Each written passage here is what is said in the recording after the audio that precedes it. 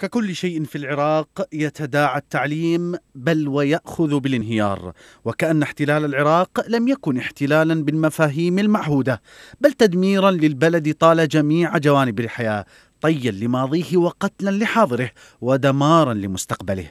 من هنا عرف العالم الكتابة وسنة القوانين وبنى الإنسان العراقي أولى لبنات الحضارة.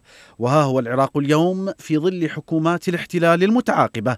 يتذيل قوائم التصنيفات بل ويخرج منها في الأمن والصحة والنزاهة وحتى التعليم. لم يكتفي خنجر الفساد الضارب بمؤسسات الدولة بإزهاق روح الحاضر فطل ليأتي على ما تبقى من المستقبل بإنشاء أجيال لم تأخذ حقها بالتعليم وإن أخذته فيكون على مضض وباعتراف نواب في البرلمان. يتحدث النائب السابق نديم الجابري عن تسبب السياسات العامة للحكومة بتراجع التعليم فيؤكد أن التعليم العالي في العراق خرج ولأول مرة عن التصنيف الدولي حيث لم تعد دول العالم تعترف بشهادات خريجي الجامعات العراقية. الجابري قال إن التعليم في العراق دمر بطريقة منهجية. من ذلك استثمار الأحزاب في هذا المجال. فهناك متنفذون يملكون مدارس وكليات أهلية كمصادر للكسب لا أكثر.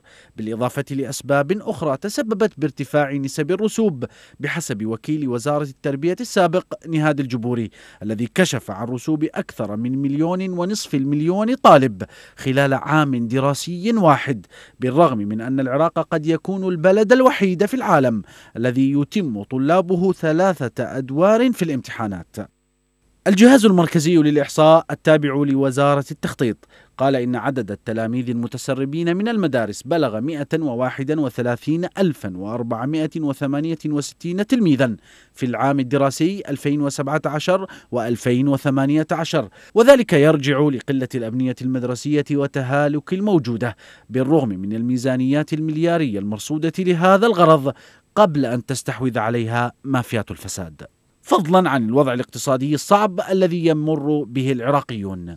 منظمة هيومن رايتس ووتش أكدت من جانبها أن التعليم في العراق يمر بأسوأ حالاته مبينة أن البلاد تحتاج لأكثر من 11 ألف مدرسة جديدة لاستيعاب زخم الطلاب قد لا يرى في المستقبل المنظور حل ناجع يوقف تدهور التعليم وإن وعد المسؤولون بذلك طالما أن الخلل يكمن في منظومة كاملة معتلة